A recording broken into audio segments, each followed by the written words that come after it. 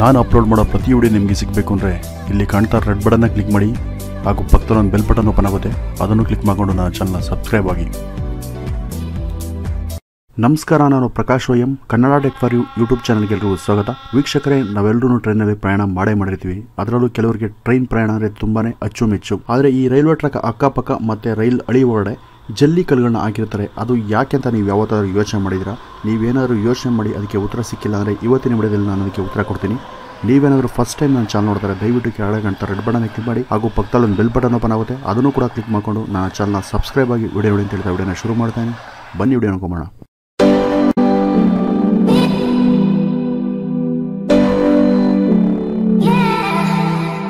ಈ ರೈಲು ಹಳಿಗಳ ಕೆಳಗೆ ಮತ್ತೆ ಅದರ ಸುತ್ತ ಇರೋ ಈ ಜಲ್ಲಿಗಳನ್ನ ಬಲ್ಲಾಸ್ಟ್ ಅಂತ ಕರೀತಾರೆ. ನಾವು ಇತ್ತೀಚಿನ ಕೆಲ ವರ್ಷಗಳಲ್ಲಿ ರೈಲ್ವೆ ಟ್ರ್ಯಾಕ್ ಏನಿದೆ, ಆ ಒಂದು ಟ್ರ್ಯಾಕ್ ಅಲ್ಲಿ ನಾವು ಕಾಂಕ್ರೀಟ್ ದಿಮ್ಮಿಗಳನ್ನ ನೋಡ್ತಾ ಇದೀವಿ ಆದರೆ ಇದಕ್ಕಿಂತ ಮುಂಚೆ ಮರದ ದಿಮ್ಮಿಗಳನ್ನ ಹಳಿಗಳಿಗೆ ಜೋಡಿಸ್ತಾ ಇದ್ರು. ಬಹುಶಃ ನೀವು ನೋಡಿರ್ತೀರ ಅನ್ಕೊಂತೀನಿ ಕೆಲವರು, ಆದರೆ ಇತ್ತೀಚಿನವರು ನೋಡಿರೋದು ಕಮ್ಮಿ. ಆದರೆ ಮರದ ದಿಮ್ಮಿ ಆಗಲಿ ಅಥವಾ ಕಾಂಕ್ರೀಟ್ ದಿಮ್ಮಿ ಆಗಲಿ ಯಾವುದನ್ನೇ ಆ ರೈಲ್ವೆ ಟ್ರ್ಯಾಕ್ ಗಳಿಗೆ ಜೋಡಿಸಿದ್ರು ಅದನ್ನ ಒಂದಕ್ಕೊಂದು ಫಿಟ್ ಮಾಡಿರ್ತಾರೆ. ನೀವು ನೋಡಬಹುದು ಕ್ಲಾಂಪ್ಗಳನ್ನ ಹಾಕಿ, ಅದು ಕಾಂಕ್ರೀಟ್ ದಿಮ್ಮೆ ಆದ್ರೂ ಸರಿ, ಈ ಮರದ ದಿಮ್ಮೆ ಆದ್ರೂ ಸರಿ, ಅದನ್ನ ಒಂದಕ್ಕೊಂದು ಫಿಟ್ ಮಾಡಿ ಅದನ್ನ ಅಳವಡಿಸಿರ್ತಾರೆ. ಈ ರೀತಿ ಮಾಡೋದ್ರಿಂದ ಈ ಹಳಿಗಳು ಮತ್ತೆ ದಿಮ್ಮಿಗಳು ಮತ್ತೆ ಈ ಸ್ಲಿಪ್ಪರ್ಸ್ ಗಳೇನಿದೆ, ಇವು ಕ್ರಮಬದ್ಧವಾಗಿ ಯಾವುದೇ ಕಾರಣಕ್ಕೂ ಆ ಕಡೆ ಈ ಕಡೆ ಅಳ್ಳಾಡ್ದೇನೆ ಫಿಕ್ಸ್ ಆಗಿ ಕೂತ್ಕೊಂಡಿರುತ್ತೆ. ಅವು ಯಾವುದೇ ಕಾರಣಕ್ಕೂ ಆ ಕಡೆ ಈ ಕಡೆ ಅಳಗಾಡೋದಿಲ್ಲ. ಆದ್ರೆ ನೀವು ಅಕ್ಕಪಕ್ಕನೂ ಗಮನಿಸಿರ್ತೀರ, ಅಂದ್ರೆ ಟ್ರ್ಯಾಕ್ ಅಕ್ಕಪಕ್ಕ, ಅಲ್ಲೂ ಕೂಡ ಜಲ್ಲಿಕಲ್ಲನ್ನ ಹಾಕಿರ್ತಾರೆ. ಅದಕ್ಕೆ ಮುಖ್ಯ ಕಾರಣ ಏನಂದ್ರೆ, ನೀವು ಅಬ್ಸರ್ವ್ ಮಾಡೋದು ಯಾವುದೇ ಒಂದು ಪ್ರದೇಶದಲ್ಲಿ ಹೋಗಿ, ಭೂಮಿಯಿಂದ ಸ್ವಲ್ಪ ಎತ್ತರದಲ್ಲೇನೆ ರೈಲ್ವೆ ಟ್ರ್ಯಾಕ್ ಇರುತ್ತೆ. ಆ ರೀತಿ ಜಲ್ಲಿಕಲ್ ಹಾಕೋದ್ರಿಂದ ತುಂಬಾನೇ ಮಳೆ ಬಂದು ಜಾಸ್ತಿ ಏನಾದರೂ ಮಳೆ ಬಂತು ಅಂದ್ರೆ ಆ ನೀರು ಕ್ಲೀನ್ ಆಗಿ ಭೂಮಿ ಒಳಗಡೆ ಇಳಿದೋಗುತ್ತೆ. ಯಾವುದೇ ಕಾರಣಕ್ಕೂ ಅಲ್ಲಿ ನೀರು ನಿಂತ್ಕೊಳಲ್ಲ. ಮತ್ತೆ ಟ್ರೈನ್ಗಳು ಓಡಾಡೋದಕ್ಕೆ ಯಾವುದೇ ಕಾರಣಕ್ಕೂ ತೊಂದರೆ ಆಗಲ್ಲ.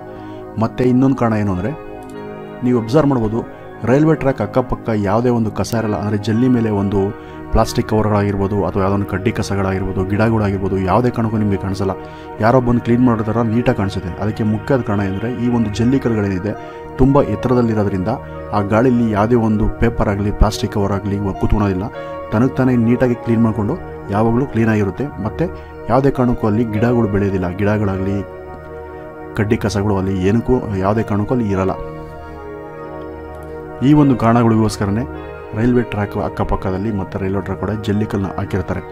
ನಿಮಗೆ ಇವಾಗ ಅರ್ಥ ಆಗಿದೆ ಅಂದ್ಕೊತೀನಿ ನಿಮಗೇನಾದರೂ ಈ ವಿಡಿಯೋ ಇಷ್ಟ ಆಗಿದ್ರೆ ದಯವಿಟ್ಟು ಈ ವಿಡಿಯೋ ನಿಮ್ಮ ಸ್ನೇಹಿತರೊಂದಿಗೆ ತಮ್ಮ ತಮ್ಮ ವಾಟ್ಸಪ್ ಗ್ರೂಪ್ಗಳಲ್ಲಿ ಶೇರ್ ಮಾಡಿ.